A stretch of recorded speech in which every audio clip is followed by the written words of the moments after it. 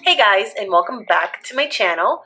So in today's video we are going to be doing an updated skincare routine because this is something that you guys asked me for.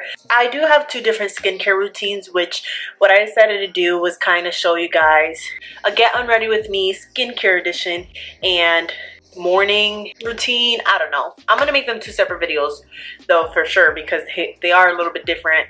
Honestly they could be the same but my makeup or my skincare routine is a little bit more different whenever i do have makeup on because i um, have to take off my makeup and stuff like that and make sure that my skin is really really clean. So I do a little bit of extra steps. The first thing that I always do is I take off my makeup with some kind of a cleansing balm. The reason why I do a cleansing balm or cleansing oil versus like uh, makeup removing wipes or like the makeup eraser or makeup just makeup remover because I used to do like I still have this because I, I use this from time to time for like little tiny details on my makeup. This is the micellar water from Garnier. I used to love this stuff because it does take off makeup really, really well. But what I started noticing because I'm trying to stay forever young is that I was pulling on my skin a lot especially like with makeup wipes. I know that like in the skincare community makeup wipes is like a big like no-no. And honestly I rarely use makeup wipes. Like I have some. I have the Neutrogena makeup wipes which are really good wipes. I only use those now for like if I'm doing like three looks one palette type of video because I have to take off my eye makeup but I'm try I try to be very very gentle because I don't want to tug too much on my eyes because they're very delicate very sensitive very thin. It's the thinnest skin on your whole entire body. That's the reason why I don't use makeup wipes anymore. And the reason why I stopped using these this was because honestly I felt so wasteful using the little makeup pads. I know that they have like reusable makeup pads and stuff like that but I've yet to find them. I don't know where they're at please like tell me where I can find them down below because I desperately need some because I really do feel bad using like makeup like little cotton rounds and throwing them away. Do like the cleansing oil too. Um, this one is the one from Fourth Ray Beauty. This is the BDF cleansing oil and I do like this one but I feel like I have to use so much of it to really, really get all my makeup off. And like you have to make sure that your skin is dry when you first use this. So you put it on dry skin, like right now, put it on my face and make sure it's not wet. And then you wet it and it gets kind of milky. But I feel like I still have to like clean around my eyes and stuff like that. Like it's it's good. I'd give this like an 8 out of 10. Like I think it's pretty good cleansing oil. Um, and it's pretty affordable too but I just feel like you have to use so much of it. So a product that I really, really like a lot is the Farmacy Beauty Green Clean Makeup Melt Away Cleansing Balm. So this is actually what I transitioned from when I went from the little like makeup removers. So this is what it looks like in here. So um, it has a little spatula here and then you grab the, the makeup balm and you put it all over your face pretty much and wet it and it gets kind of milky and then you can use your cleanser. So I've had to switch my cleanser over. I was using the AM to PM from um, Fourth Ray Beauty, which I really, really like that one a lot when I was living in Florida. But now I live in Missouri and it's a lot different. My skin has changed a lot. So I had to switch over to the Fourth Ray Cloud Bank Milky Cleanser and I really do like this. I just kind of miss the AM to PM because it felt like it just really cleaned my skin well without making it squeaky. This just almost makes it feel like there's still like a layer on my skin. I've also used a few other cleansers too, but this one right now is the one that I've really been obsessed with. As you can see, I've used quite a bit of it. And one thing that I have been obsessed with, which I kind of wanted to go back to using my Clarisonic, but I just hate buying the brushes because I don't know about you guys, but I feel like the brushes for me on the Clarisonic only really last like two months instead of three months and you have to replace them so constantly and they're so expensive. It's $30 for a brush and on top of that like the machine's are already expensive. Like I think it's like what? The cheapest one is like 150 or something like that. So it's a really expensive brush. Does a great job don't get me wrong because it really does clean everything and like really decongest my skin. I just hated the fact that I had to replace it often. So then I went and I switched over to the Ferrero, Ferrero, whatever. It's a little tiny um, silicone like cleansing apparatus and I, I tried it for a week and my skin got so congested. It was gross. I just felt like it wasn't doing anything. And I took it back to Sephora and I told her, I was like, hey, I bought this like a week and a half ago. I hate it. I've tried it and I absolutely hate it. And she was like, what was wrong with it? And I told her, my skin feels more congested than when I, before I started. And I just prefer to buy my Clarisonic brush. And she was like, oh yeah, we get that a lot. No shame. I'm if you like the for real thingy, that's all you. So ever since then, I was kind of skeptical about like a silicone cleansing thing. But I've used the PMD before, which is a personal microdermabrasion, and that kind of helps get rid of dead skin and stuff like that. And they have a bunch of other products too. And one of them, which is an item that we got last month in our BoxyCharm, is the PMD cleansing brush cleansing tool. I don't remember what it's called, but this is what it looks like. It's a hundred bucks. It has two different sides on here. It has the little silicone side. Yes, it is pink. I hate the fact that it's pink, but I'm over it. I don't even care anymore. So it has the pink side right here. Um, pink side. The brush side right here that has these like deeper ones for like really, really congested skin or like the harder to reach area. So you have the bigger ones and then you have the smaller ones that's just gonna give you more a gentler clean. And then on the back side, you have these low ridges that's really supposed to be really good to like massage the skin and stuff like that but I honestly don't care for it as much because I have other like tools like rollers and stuff like that which I will show you guys in my morning skincare routine. So this has four different speeds. So it has the gentler speed which is gonna it's really good for like daily cleansing. Then it has a more intense speed which I like to use for whenever I have makeup on because I feel like it's gonna really decongest my skin. Then it has this pulsating one I don't know if you guys can hear that. But that's supposed to be the massaging side. So this is supposed to massage your skin. And then it has a faster massage. It's like a really fast pulsating. So the sucky thing about this, the sucky thing about this is that you have to go through all the speeds. Like if I go if I turn it on by mistake, I have to go through all the speeds to turn it off. So that's kind of annoying. Other than that, I have been obsessed with this thing, which I'm surprised because again, I did not like the other silicone one. I don't know what it was. Maybe it was the size of it because this one's smaller. So I can really reach around my face while the bigger one, I really couldn't.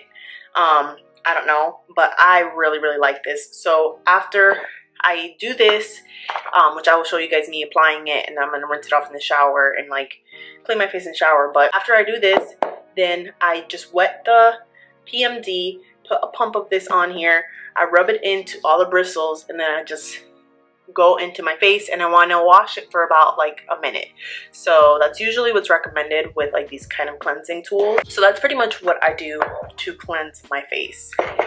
So we're going to go ahead and take some of the green clean. So this is what it looks like. I like the fact that this one, the bigger one has a spatula, the small one does not. So you have to dip your fingers in it, which I don't really care for that. But anyway, so I'm gonna show you guys how it works. I've showed you guys this before in the BoxyCharm video, but I'm gonna show you guys again. Um, just in case if you guys are new and don't know about this, you can already see my makeup melting off. It's so nice and it's so gentle which is what I love about it. So you're not gonna cause like wrinkles or anything. And then what I tend to do is on my eyelashes, I just kind of hold it there for like a minute and then I just kind of gently rub down. And that's gonna help with the mascara. Because this mascara, I don't think it's a tubing mascara. I try to be very gentle around the eyes and this is just so slick, which is what I like about it. I feel like the cleansing oil, it's too thin so it's almost like watery. So you can't really get that slip. So you have to be a little more aggressive with it. So then after you get all that makeup pretty much melted away. You're to go ahead and wet the face and it's to turn into this milky consistency. And then you just kind of like keep rubbing it off or just like splashing it off, rinsing it off. And then I'm to go ahead and cleanse my face. So that's what I'm to go ahead and do. And then I'll be right back to show you guys the rest of my steps. So I'm fresh out the shower and as you guys can see, my skin, it looks pretty clean. Um, I will say the thing I love about this balm is I feel like it's really, really moisturizing. So after I take off my makeup and cleanse like it doesn't feel drying at all so I do like that over the fourth ray one after I cleanse my skin with my PMD in the shower because like I said, I don't like water dripping on my chest. I'm really weird about that. I'm gonna take a cotton round. I just have to make sure that my face is 100% clean. So this is actually, I think it's called the Keep It Keep It Clear, but it's from Fourth Ray and I put it in this Origins bottle because this Origins bottle has a pump. So I feel like I can control it versus like the kind that is like this where it just drips out. Like I feel like the Fourth Ray toners tend to like drip out a lot. So putting it in this gives me a lot more control. So I'm gonna, it has two different sides to it. So this is like the fuzzier side and this is like the denser side. So I always use the denser side because I don't like having little fuzzies all over me. So I'm just gonna go ahead. I start off on my forehead because it's usually the area where I tend to like miss some makeup as you can see right there. And it's just because I'm trying not to get my hair wet because I don't wash my hair every single day because my hair would be like the Saharan desert if I did. And I always get like in here, like by my ear really well too, because um, sometimes I tend to put makeup like all the way like inside of my hair and also on my neck.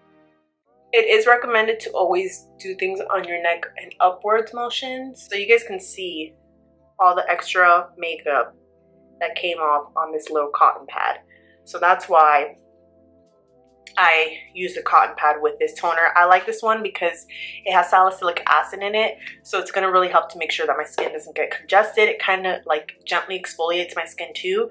So whenever I wear makeup, it is, it is a little bit more harsh, I guess you could say, than like the waterfall toner from Fourth Ray, which I also have. That one um, is a lot more gentler, but I just really, really like this one. I love how this stuff smells too and I've always really liked this toner. So that's probably one of my favorite toners from Fourth Ray. And then you don't have to do this. This is just an extra added step um, just because again, I'm just extra.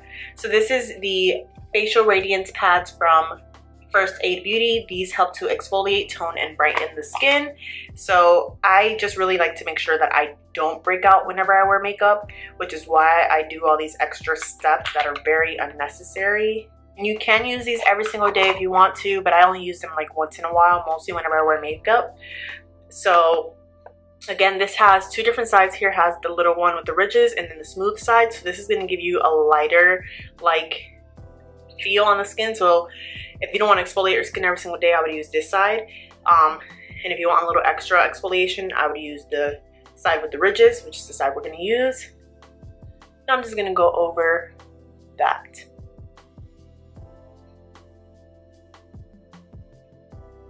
And you, honestly, you could like do this and not do the toner, but again, I'm just extra. And then what I like to do is I take my serum. So depending on like, I have a few different serums because I got like the little mini four pack from Fourth Ray so that I could try them all out um, and see which ones I liked.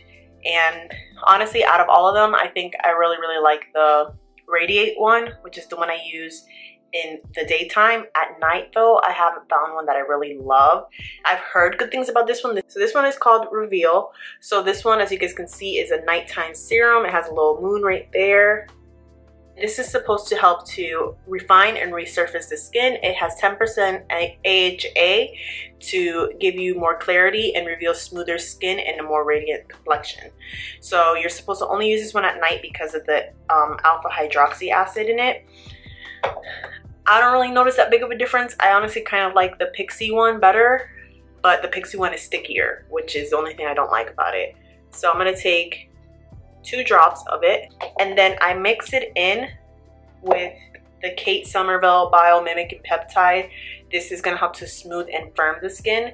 This you can use AM and PM, which is usually what I do. You can use it alone or with other um, serums or moisturizer. So I just mix it in with my serum. So I take one drop of this.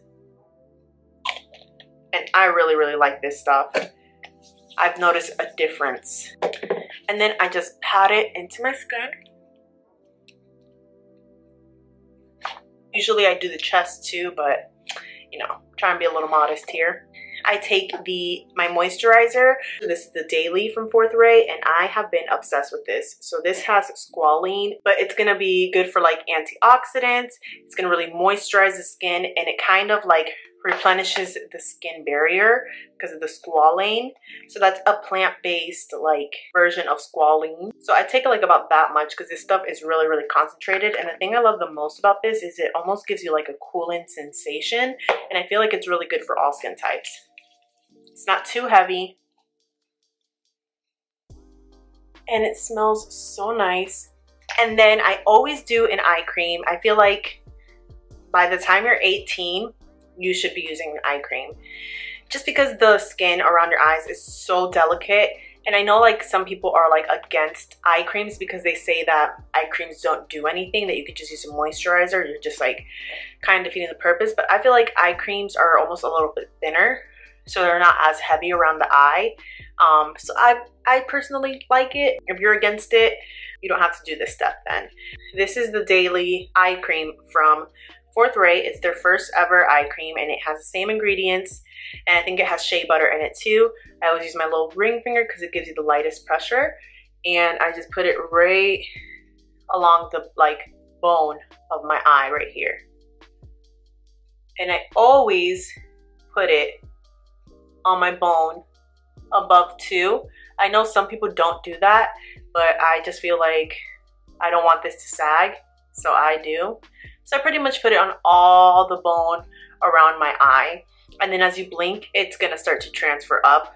If you put it too close to your like eyelid, which I've done before in the past by mistake, it burns. If I have some leftover, I always put it around my lip because I feel like the lips can always use extra moisture so that way you don't get any lines and I also put them on my smile lines because now that I'm getting older I have smile lines. That's what I get for being a happy person. And then the last step that I do uh, product wise is I tend to use some kind of an oil. The one that I really have been loving a lot, which I'm surprised with, is the rosehip oil from Fourth Ray. Since using this one, I've noticed like the clarity in my skin has looked a lot better. My skin hasn't looked as congested either and it's really helped to lock in the moisture. And then what I also do, I mostly do this like if my skin is really congested or like I said, if I'm wearing makeup, this is the after hours detox facial oil. So this one you only use at night. At night. So this one has charcoal in it, so it's gonna help to detox the skin. Um, so I take like about one or two drops of it it looks kind of scary because it's black, but it actually is an oil. So I mix both of those oils together and then I press it into my skin. And I really focus it on the areas that get congested, which is my T-zone. And I also have a little like wrinkle on my forehead right here. So I try to like massage it into there.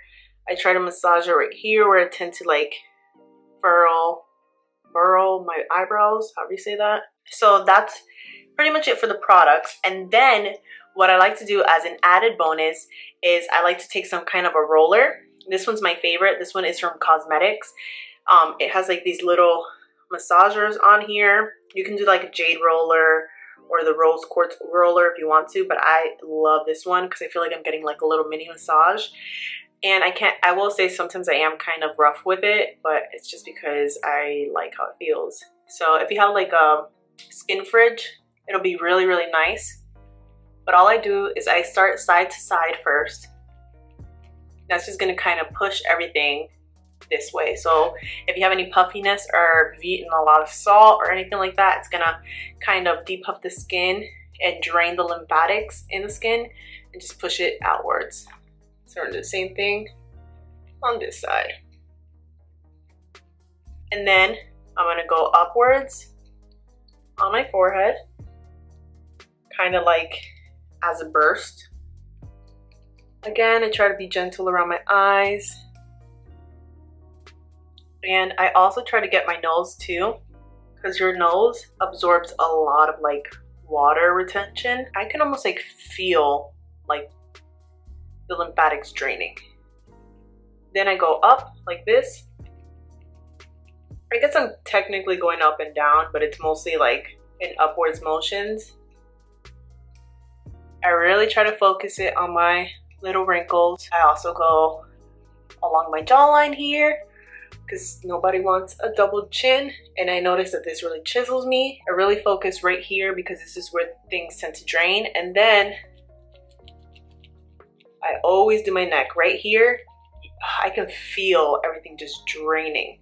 Like I can almost feel it from here, just like it drains. I don't know how to explain it, but it feels good. It's very relieving. As you guys can see, I kind of do it like a mad person. I'm sorry. I know that I can't iron out my wrinkles. Okay. I saw Jessica Alba doing this once and she looks amazing. So. so that's pretty much it for my nighttime skincare routine when I have makeup on. When I don't have makeup on, I usually switch this out to the waterfall toner because more moisturizing. I usually don't double cleanse, so I only do the one cleanser. And just depending on my skin, I might not do this oil.